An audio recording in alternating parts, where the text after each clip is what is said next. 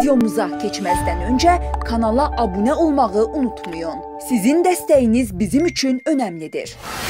Beynəlxalq Təbiəti Mühafizə Birliyinin qırmızı siyahısında nəsli kəsilən və kəsilmək təhlükəsi qarşısında qalan 128918 növ var.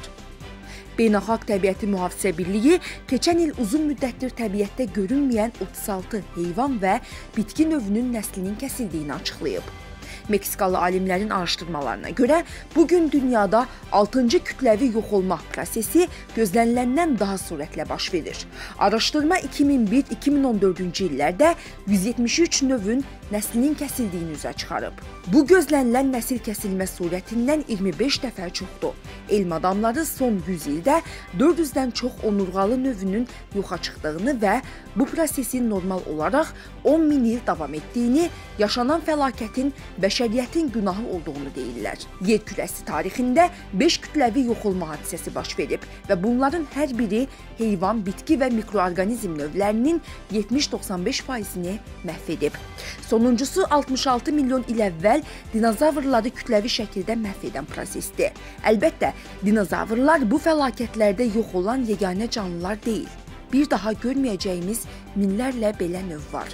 Yava pələngi 1993-cü ildə brakonyerlik və yaşayış yerlərinin kiçildilməsi səbəbindən nəsli kəsilib. Keşiş suitisi Vaxtilə Karib adalarında yaşamış bu suiti cinsinin nəsli 2008-ci ildə tükənib. Pinta adası tısbağası arxipelaqına daxil olan adalardan birində Pintada yaşamış sonuncu Pinta adası tısbağası 2012-ci ildə 100 yaşında vəfat edib. Qara kərgədan 2011-ci ildə brakonyerlik nəticəsində nəsli kəsilib. 4000 il əvvəl nəsli kəsilmiş mamontlar Asiya və Şimali Amerikanın qütb bölgələrində yaşayıblar. Piriney dağ keçisi Son Pireney dağ keçisi 2000-ci ildə ölüb. Meksika bozayısı Meksikada yaşayan bozayıların nəsli 1964-cü ildə kəsilib. Kvaka zebrası Bu zebra növü 19-cu əsrin sonlarında dərisi üçün ovlandığına görə nəsli kəsilib. Tasmaniya pələngi. Bu pələngin sonuncusu 1936-cı ildə ölüb. Qızıl qurbağa. Kosta-Rikada yaşamış qızıl qurbağanın nəslinin 1939-cu ildə kəsildiyi bildirilir. Dəniz inəyi. Şimal qütbünə yaxın Bering dənizində yaşamış dəniz inəyinin nəsli 1768-ci ildə tükənib. Pauli Havay adalarında yaşamış bu quş növünün nəsli 2004-cü ildə tükənib. Köçəri göyərçin 1904-cü ildə icazəsiz və həddindən artıq ovlanma nəticəsində nəsli kəsilib. Moa 700 il əvvəl nəsli kəsildiyi məlum olan moalar Yeni Zelandiyada yaşayırdılar. Ovçuluq və yaşayış yerlərinin kiçilməsi səbəbindən tamamilə yoxa çıxıblar. İrlandiya maralı İndiyə qədər mövcud olan ən böyük maral növü kimi tanınan İrlandiya elkinin 7700 il əvvəl nəslinin tükəndiyi iddia edilir. Tur Turlar Asiya, Avropa və Şimali Afrikada yaşamış, əhliləşdirilmiş malqaranın əcdadlarıdır. Ən yaxın qohumu Batusidir. Xəzər pələngi Turan pələngi də adlandırılır. Azərbaycan və bütün Xəzər sahili ölkələrə, şimalda İrtışa, şərqdə isə Əfqanistana qədər yayılmışdır. 1940-cı illərdə Areal Transkafqaz, Aral dənizi, Əfqanistan və Balxaş gölünə qədər kiçildi. 1930-cu illərdə Azərbaycanda Talış dağlarında, Cənubi Türkmənistanda görülüb. Eləcə də İran və Türkiyədə yaşayıblar. Turan pələngi uzun illər ovçuların diqqət mərkəzində olub. Hələ Roma dövründə qladiator döyüşləri döyüşlərində geniş istifadə olunub. Uzun müddət zərərverici hesab edilib.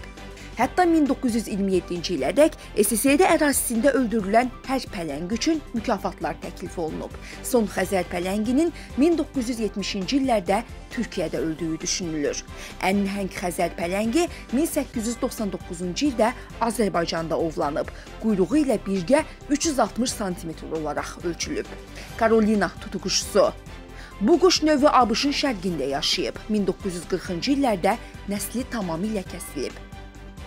Dodo Mavrika adasında yaşamış bu tropik quşun nəsli 17-ci əsrdə yox olub. Dodo nəsli kəsilmiş ən məşhur heyvanlardan biridir.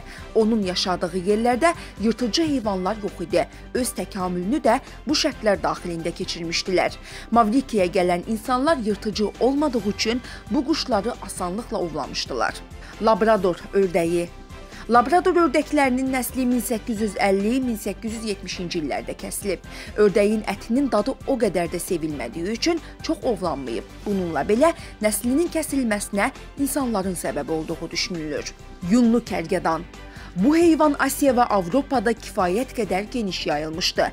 Hətta buz dövrünə uyğun yununun olduğu da məlumdur. Geniş yayılmış ovlanma nəticəsində nəsli kəsilir. Videomuzu bəyəndinizsə kanala abunə olmağı və videonu bəyənməyi unutmayın.